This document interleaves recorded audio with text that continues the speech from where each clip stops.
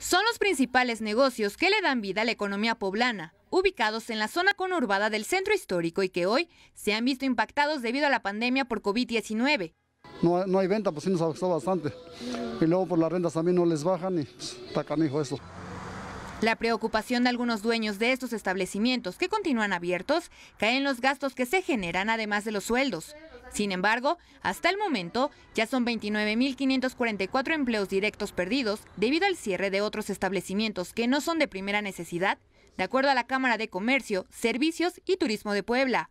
Es decir, es de tres meses lo que se perdieron en tres meses en registros de, de empleos en el Instituto Mexicano del Seguro Social. Es decir, fueron 29 mil bajas de registros de, de, trabajadores del Seguro Social en tres meses en Puebla. Que pues imagínese usted la desesperación, porque pues todos, ¿no? Como locatarios, no todos somos dueños, desgraciadamente.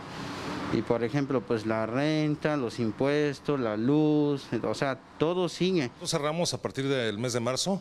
Este, ahorita la gente que estaba laborando con nosotros, por el momento no está laborando con nosotros. Venimos abriendo apenas el día de ayer y estamos esperando a que haya un poco de movimiento en la calle para poder llamar a los trabajadores nuevamente.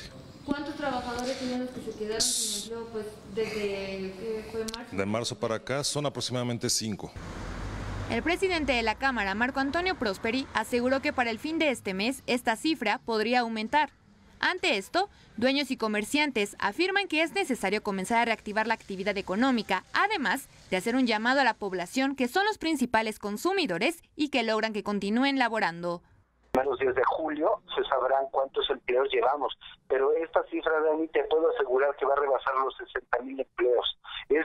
Es nuestra urgencia de regresar. Es que ya habrían todos los comerciantes porque la verdad eso está, está para si esto sigue vamos a quebrar muchos, muchos vamos a quebrar, o sea, tanto los que están abiertos como los que están cerrados. Pues hace falta que vuelva a circular, el, el, ahora sí que el, la economía, ¿no? Entonces hace mucha falta que, que esto empiece a, a, funcionar como estábamos antes. Con imágenes de Oscar Martínez, Daniela Casco, Azteca Noticias.